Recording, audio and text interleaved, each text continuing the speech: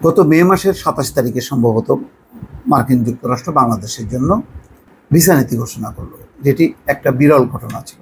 তখন বেশ চমক তৈরি হয়েছিল, সাড়া পড়েছিল, কিন্তু আসলে কেউ বুঝতে পারছিল না যে এটা কার্যকর হবে বা কেউ অ্যাফেক্টেড হবে।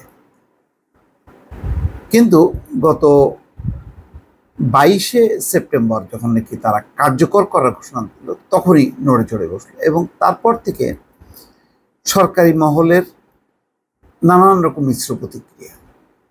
একবার বলছে যেটা তাদের ব্যাপার, তারা দিতে পারে। আবার বলছে যদি আমরা এটা পরোয়া করি না, তো তারা দিতে পারে, এটা তাদের ইচ্ছা। আবার আমরা পরোয়া করি না। আবার পররাষ্ট্রমন্ত্রী বারবার বলার চেষ্টা করছেন, যারা দুষ্ট লোক, যারা ওখানে টাকা পয়সা দুর্নীতি করছে, তারা এটা চিন্তিত, অন্যরা চিন্তিত না। আবার কেউ কেউ বলছেন যে এটা অল্প সংখ্যক লোকের উপরে পড়েছে।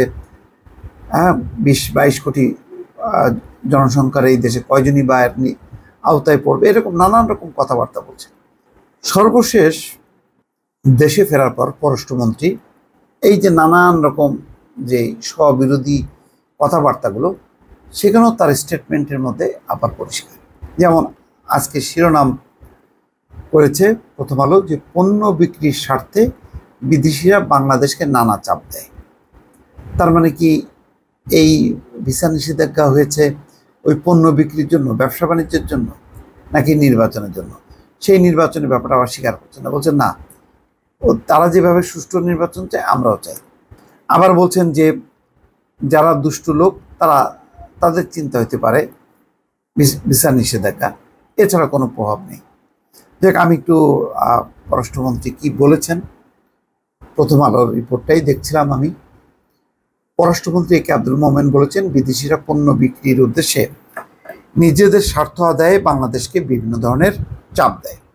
বুধবার বিকেলে পররাষ্ট্র মন্ত্রণালয় সাংবাদিকদের প্রশ্নের জবাবে এসব বলেন। যুক্তরাষ্ট্র ও যুক্তরাজ্য সফর শেষে এদিন দুপুরে দেশে ফেরেন পররাষ্ট্রমন্ত্রী। বিদেশিদের চাওয়া পাওয়া ও চাপ নিয়ে এক প্রশ্নের জবাবে মোমেন বলেন বাংলাদেশে যেহেতু বাণিজ্য বেড়েছে, উন্নয়ন হচ্ছে, ফলে সবাই আমাদের কাছে তাদের পণ্য বিক্রি করতে চায়।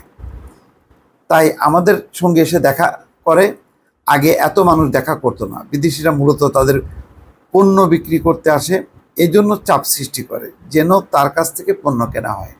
মানে পুরো বিষয়টি একটা বাণিজ্যিক দিকে নিয়ে যাচ্ছে। বাংলাদেশের গণতন্ত্র, মানবাধিকার, এগুলো কোনো বিষয় নয়। যুক্তরাষ্ট্র তাদের পণ্য বিক্রি করতে চায়, ফ্রান্স তাদের পণ্য বিক্রি করতে চায়, যুক্তরাজ্য তাদের পণ্য বিক্রি করতে চায়, ইউরোপও তাদের পণ্য বিক্রি করতে চায়। তো এই কারণেই মানে তারা নির্বাচনের জন্য চাপ দিচ্ছে। এটাই মনে হচ্ছে যেন পররাষ্ট্রমন্ত্রী বলতে চান।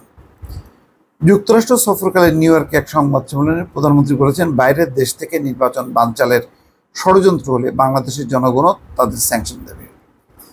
কাদের উপর এবং কেন বাংলাদেশ নিষেধাজ্ঞা দেবে, এই প্রশ্নের জবাবে পররাষ্ট্রমন্ত্রী বলেন, যারা আমাদের উপর নিষেধাজ্ঞা দেবে, তাদের উপর নিষেধাজ্ঞা দিতে পারি। পারি না? নিশ্চয়ই পারি। বিভিন্ন ক্ষেত্রে নিষেধাজ্ঞা দিতে পারে, এগুলো সময় মতো জানবেন। আচ্ছা এটা আমার মাথায় আসে না। বাংলাদেশ যুক্তরাষ্ট্র, কানাডা, ইউরোপীয় ইউনিয়ন, এদের উপরে কি নিষেধাজ্ঞা দেব আমরা?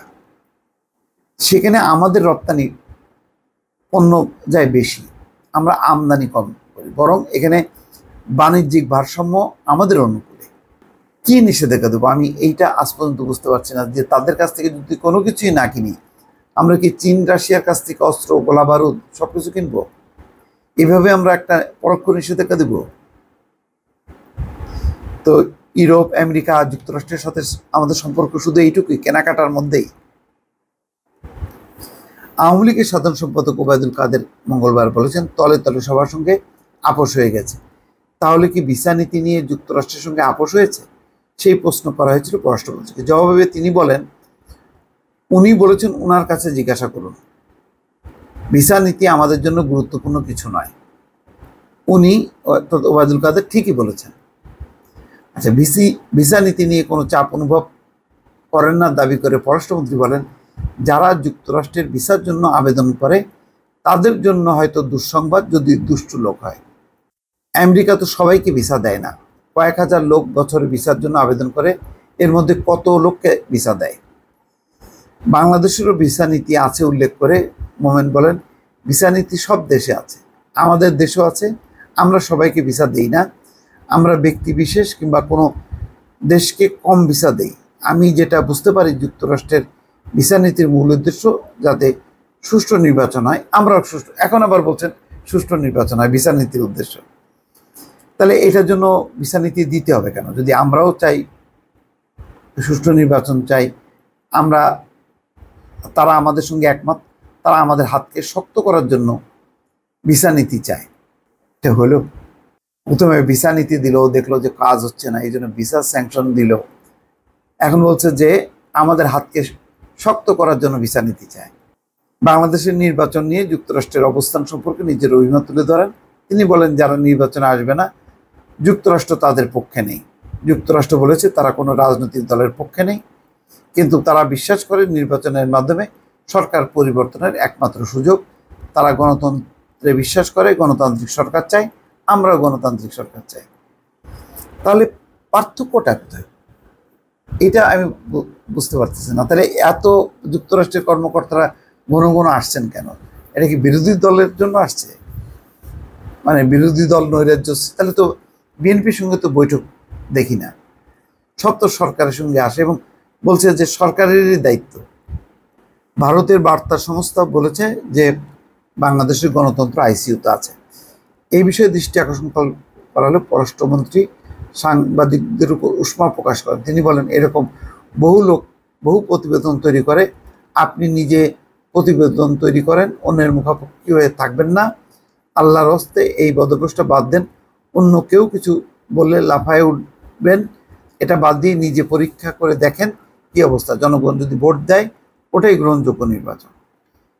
যাই হোক যুক্তরাষ্ট্রের নিরাপত্তা উপদেষ্টার প্রসঙ্গ ওটা এসছে যে যুক্তরাষ্ট্রের অনেকে সাক্ষাৎ করেছে, নিরাপত্তা উপদেষ্টার সঙ্গে আমরা রোহিঙ্গা বিষয় নিয়ে আলোচনা করেছি। কিন্তু দেখেন, হোয়াইট হাউসের বক্তব্যে কিন্তু বলা হয়েছে যে নির্বাচন নিয়ে আলোচনা হয়েছে। মানে যুক্তরাষ্ট্র যখন ব্যাখ্যা দেয়, তখন একরকম পাওয়া যায়। আমাদের পক্ষ থেকে যখন ব্যাখ্যা দেওয়া হয়, তখন অন্যরকম সুর পাওয়া যায়। এখন কোনটা সত্য, কোনটা মিথ্যা দর্শক, আপনারা বুঝে নেবেন। ভালো থাকবেন। আল্লাহ হাফিজ।